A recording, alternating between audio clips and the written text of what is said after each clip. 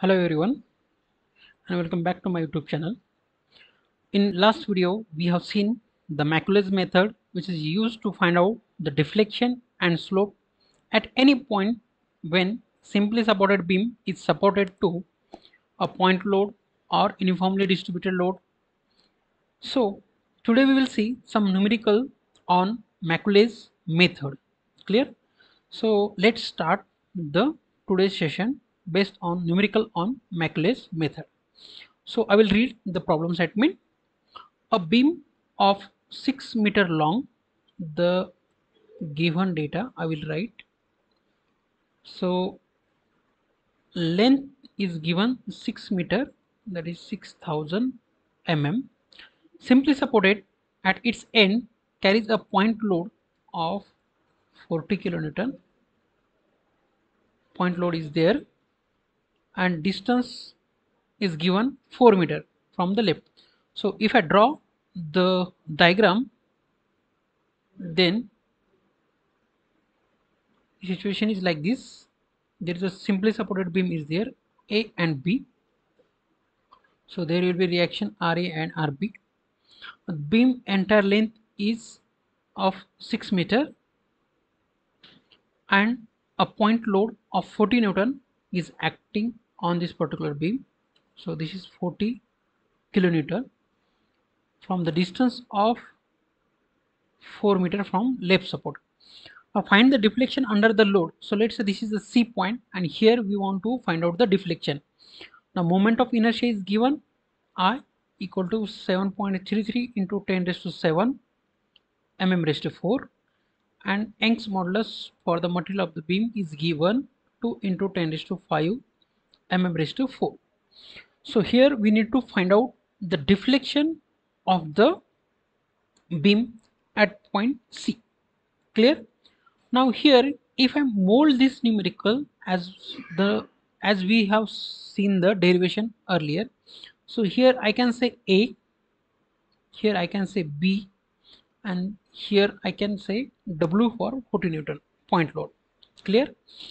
Now if you see this numerical then I can say that A it will be equal to 4000 mm value of B equal to 6000 mm value for the W is 40 kilonewton so I can write 40,000 Newton. Clear? Now I is given E is given. Now instead of derivating entire derivation I will just show you over here. Here we have considered the A distance B and W. So here we have derived the equation. So deflection at point C. Clear? So it is equal to W A square B square divided by 3 EIL so here corrections is there. EIL clear so that will be the deflection of the beam.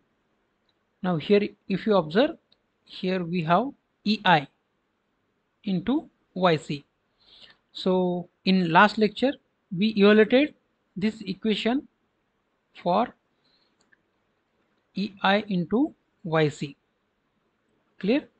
So just a small correction is there.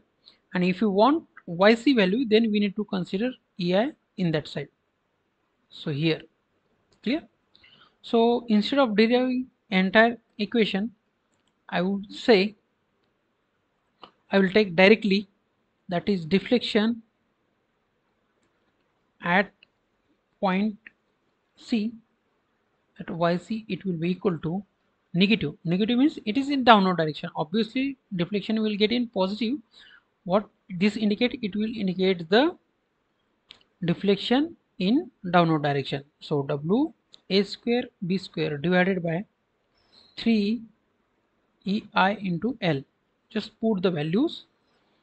That is 40000 into a value is 4000 square. Now b value sorry this is the entire length of the beam. So what will be the b? B will be 6000 minus 4000 it will be equal to 2000 mm so 2000 square divided by 3 into e value is 2 into 10 raised to 5 into i is 7.33 into 10 raised to 7 so if you solve this then the value will be equal to so this is negative 9.7 mm clear so this will be the deflection of the beam at point C. Clear? So just a small correction in the previous video that is EI we need to consider over here. Simple? Okay. So let's see the next numerical which is again based on the deflection of beam when it is subjected to a different point load. Clear? Now next I will write down given data. Again 6 meter long length is given. So 6000 mm. Carries two point load. So here I will try to draw the diagram. So the, let's say this is point A let's say this is point number B. Now this will have two reaction RA and RB clear? Now it carries this simply supported beam carries two load of 48 kilonewton and 40 kilonewton. Simple? 48 kilonewton and 48 kilonewton at a distance of 1 meter and 3 meter respectively from the left support. Left support is A so from A I will consider at 1 mm there is a point load of 48 kilonewton.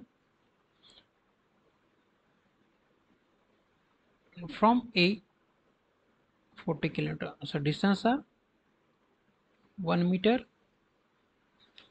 and distance is 3 meter. This entire distance so try to understand here I need to rub this sketch. Diagram must be a little bit proportional. So I will just rub this.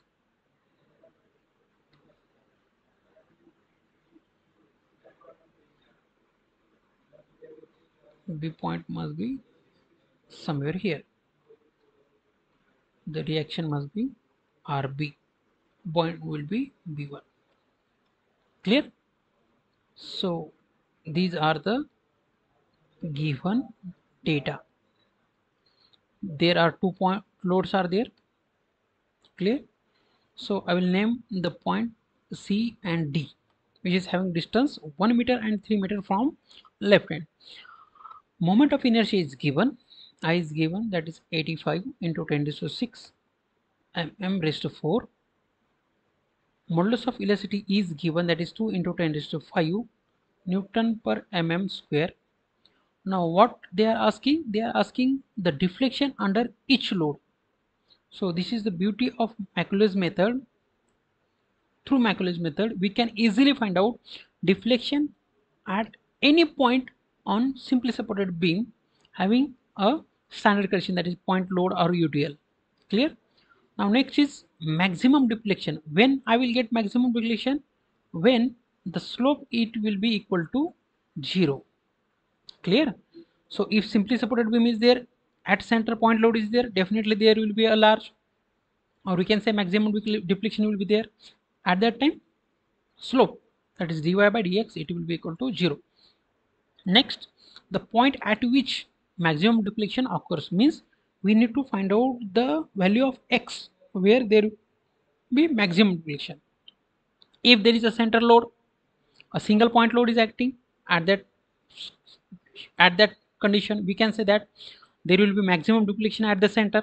However if you observe this condition there are different two loads are there. It is acting different location. Then where will be the maximum deflection definitely it will be between the point c and d. Are you getting my point? In generally if you observe it is never near about the point d clear? But we cannot say that it will be at center or where it is. Clear? So we will see how to evaluate the point where the maximum deflection will occur. And depending upon that we will evaluate the maximum deflection. And first we will see the deflection at different location. Clear? So for that purpose what we need? We need to derive the entire equation using the Macaulay theorem.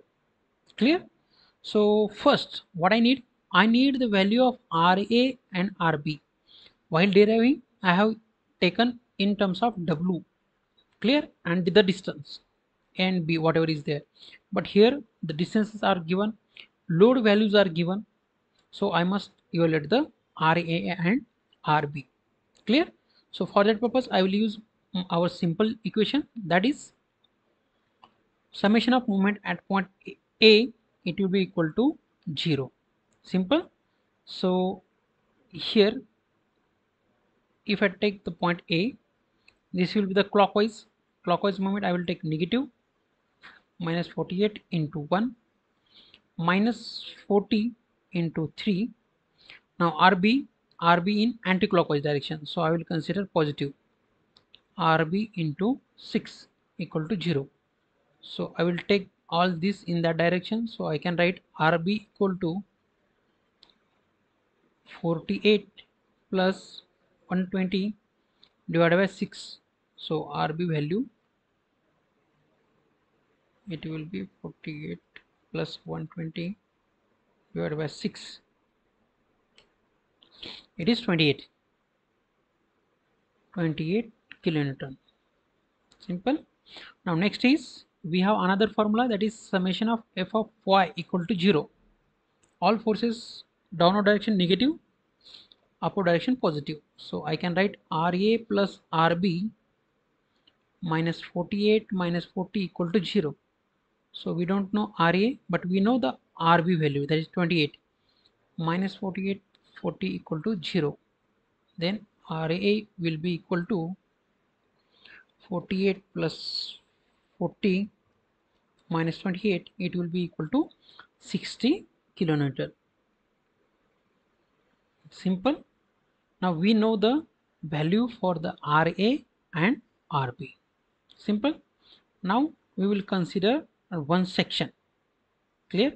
Consider the section X in last part of the beam because we always consider the section at the last part. So I will consider section over here. Why if you consider section over here let's say XX then I must consider all kind of the forces acting on this particular beam. So I can derive this for entire. So let's say this distance from the left section is x. Clear? This the distance of the section from the left side is x. Simple? Now bending moment at the section it is given. Bending moment at section x is given. That will be ra into x. So it is clockwise but in the left side remember. So i am considering the positive. Here i will tell you. So if you observe this ra ra is going to be a so let's say this point is x point. So ra will be clockwise but it is in left side of the section that's why i am taking positive. Now 48 how, how it is? It is in anti-clockwise. I will consider negative. 48 now the distance is x minus 1 x minus 1 next. So here I will consider the dash dot line. Here again I will consider dot line. There is another force that is 40 Newton. So it is again negative 40 into x minus 3 distance from the plane.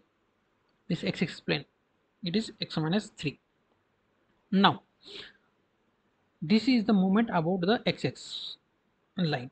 Now moment at any point how we have we can evaluate it is a standard formula that is ei into d2y divided by dx square.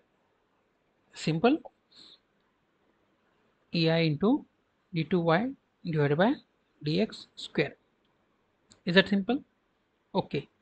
Now just simplify the formula by just put over here ra value is 60 put ra value and just find out the equation. That will be the 60x minus 48 x minus 1 and minus 40 into x minus 3 that will be remain same d2y by dx square. Simple? Now i will rewrite i will take this direction. That will be ei into d2y divided by dx square equal to 60 x minus 48 minus 1 minus 40 into x minus 3 so what will be the next? We got the equation. Clear? So let's say this equation. Now d2y divided by dx square. What we need we need slope and what we need deflection. Then what we do? We take the integration. Integrating above equation. So integration ei is constant d2y by dx square integration is dy by dx equal to 60 integration of x is x square divided by 2 simple minus 48 integration of x minus 1 we have already considered x minus 1 square divided by 2 consider this is a whole x minus 1 simple now next it is minus 40 into x minus 3 square divided by 2 simple. So I will just simplify this equation that is 30x square plus c1 now concept of integration. Here I am miss this one. Clear? So I will write before the dash line. Simple. C1 minus 24 x minus 1 square minus 40 instead of 40 I will write 20 x minus 3 square. Simple. I will make this is equation number 1 as we are going to use again. Simple. So just mark this is a this is 20 equation number 1 again integrate above equation with respect to x. Then this will become ei is constant y equal to 30 into x cube divided by 3 plus c1 x plus c2 I am taking constant of integration in first part only why I am taking because if I want to evaluate between that only deflection between the first part that is point between point A and C then I must consider this integration constant of integration. That's why I'm taking in first part. Minus 24 x minus 1 cube divided by 3 mm, minus 20 x minus 3 cube divided by 3 simple? So wait. I hope this equation is visible. Clear? Now just simplify this equation. You will get ei into y equal to this will become 10 x cube plus c1x plus c2 is 3 8 minus 8 x minus 1 cube minus it will not get divided. So 20 divided by 3 into x minus 3 cube. Simple. So this is the second equation through which we can evaluate the deflection. From this equation we can evaluate the slope. Simple. Now here if you observe there are two values are there c1 and c2 both are c1 and c2 are nothing but constant of integration constant of integration. Simple. Now here we need to put the boundary point. Clear? So boundary values. Let's say at a point. So if you consider this one at a means x is equal to 0 deflection will be equal to 0 so if I draw the deflection then it will be somewhere like this. Clear? So at point B deflection is 0 at point A deflection will be equal to 0 clear? So here I can consider at A y equal to 0 and x is equal to 0 so if you put over in equation so I can write from equation 2 from equation 2 I can say y equal to 0 so this will become ei into 0 equal to 10 into 0 plus c1 into 0 plus c2 bucket. I don't need this one. Clear? So 0 equal to 0 plus 0 plus c2 so I can say g2 c2 equal to 0 simple? Next if you consider the second term clear? Now in second condition so I can use at B. Y will be equal to 0 so at that time x will be equal to 6 meter. Simple? So just put the value in equation number 2 then we can write from equation number 2 I can write EI into 0 क्योंकि why because y is equal to 0 so this equation so again I am taking this equation over here 10 into 6 cube plus c1 into 6 minus c2 value is 0 minus 8 x value is 6 minus 1 cube minus 20 divided by 3 6 minus 3 cube. Simple.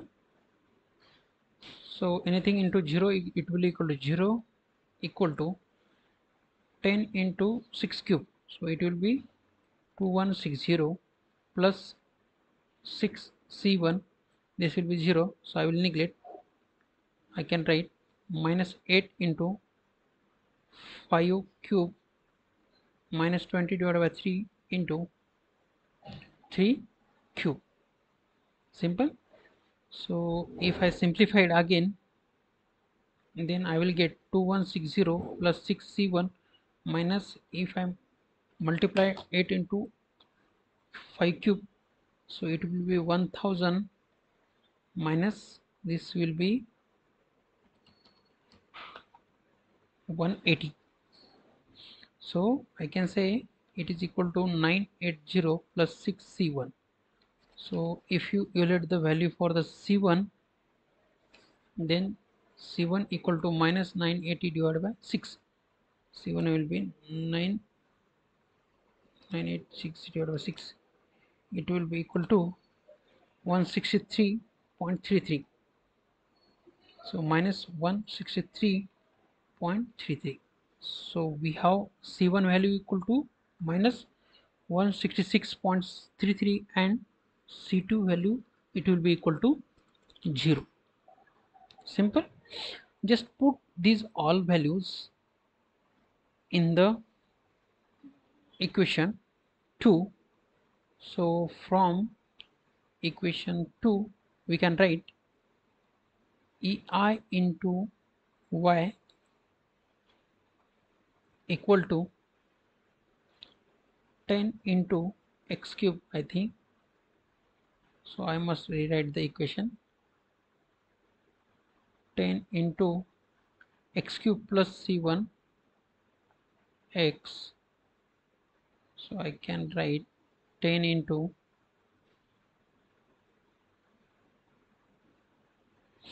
x cube minus 163.33x no need to write the value of for c2 minus 8 x minus 1 cube minus 20 by 3 x minus 3 cube. So this will be our equation.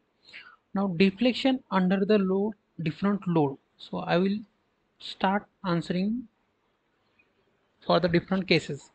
So what they ask you they ask for the deflection under the each load. Means deflection at point C deflection at point D if you want to evaluate deflection at point C then put x is equal to 1 if you want to evaluate the deflection at point D then evaluate uh, sorry put x is equal to 3 simple. So this is an general equation in which if you put the value then we will get the answer. So I will write deflection at C.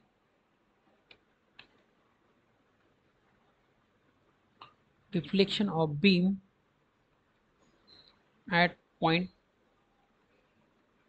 C. Clear?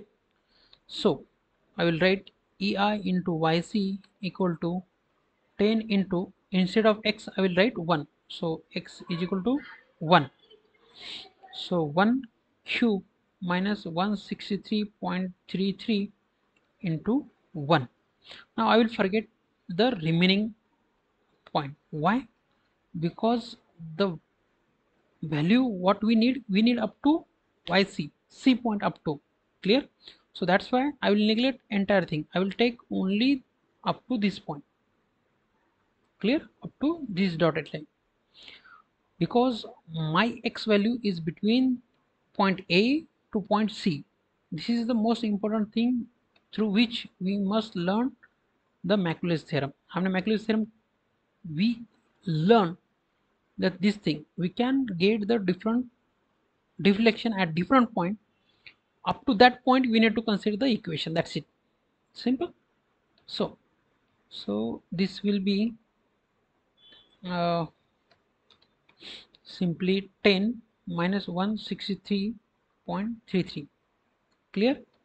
Divided by EI clear? So let me check. Yes. Uh, yc will be equal to minus 153.33 here kilonewton meter cube. Remember simple so whatever we have derived it is in different unit. So remember this is not the yc only. Again ei into ei value of EI in mm so I must consider this in mm so I can write YC into EI it will be equal to minus 153.33 into 10 raised to 3 Newton meter cube. Simple. Now if I want to get this value in mm cube then I can write YC into EI equal to 153.33 into 10 raised to 3 into 1 meter equal to 10 raised to 3 clear? So if I want meter cube means 3 cube. So 10 raised to 9 clear so I must multiply by 10 raised to 9 this will become Newton mm cube so again I can write EI equal to 153.33 into 10 raised to 12 Newton mm cube. Simple. Now here we can put the value of E and I. Simple. So I can write YC equal to minus 153.33 into 10 raised to 12 divided by EI. Value of e is 2 into 10 raised to 5 and i is 85.10 raised to 6 so yc will be equal to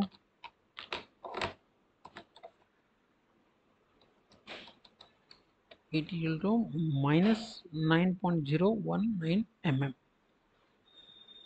Simple now again we need to consider or we need to evaluate deflection at point D. Clear? So same equation I will repeat over here. Ei into yd equal to 10x cube. So 10 into 3 cube. So here 3 value is nothing but the distance of d from left hand side. Minus 163.33 into 3 again I am considering all values in meter. Minus 8 into 3 minus 1 cube. So here if you observe I have considered the another dotted values so this was for first one. Now here I am considering another value also. Because my load is up to the point D. Clear? Up to point D. That's why I'm considering 8 into x minus 1 cube simple? So likewise if you want to deflection at point B then we must consider entire equation. Clear? So here I will just simplify it to 70 minus 489.99 minus 64 clear? So this will be equal to 283.99 kilo newton meter cube. So instead of just deriving you may know how to convert this in newton mm cube. So 283.99 into 10 is to 12 I will write directly. Divided by EI value of E is 2 into 10 is to 5 into value of I is 86 sorry it is 85 I guess. Yes 85 into 10 is to 6 so I will get this is YD equal to minus 16.7 MF simple. So this is how we have evaluated the point sorry deflection at point C and at point D. Simple? So now what is us again? Is it over? No. They are asking about the maximum deflection and the point at which maximum deflection occurs. So if we want to know the maximum deflection where it occurs where dy by dx that will be equal to 0 so I can rewrite from this equation. So just observe this equation number 1 ei into dy by dx equal to 0 if you put over here 0 then put the value for c1 then I will get the another equation. So here I will write or we can say maximum deflection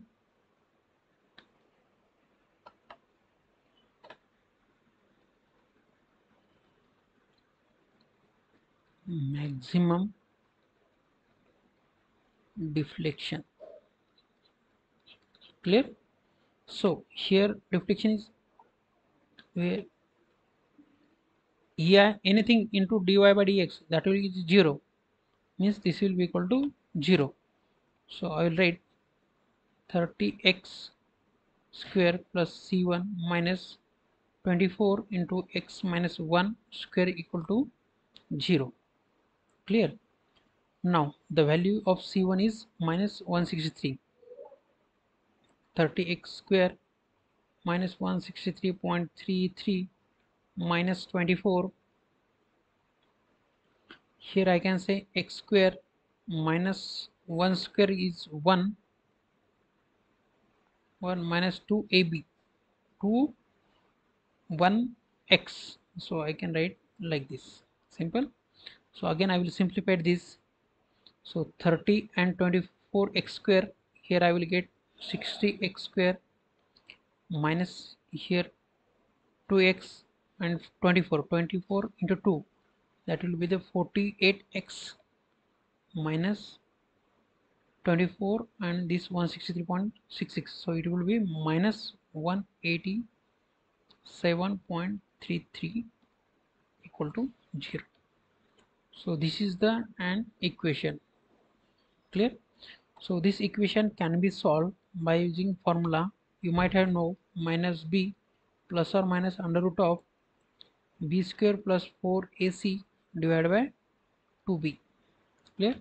So here value of a is 6 b is 48 and c is 187 minus 187.33 if you put just value then I can get if minus 48 plus or minus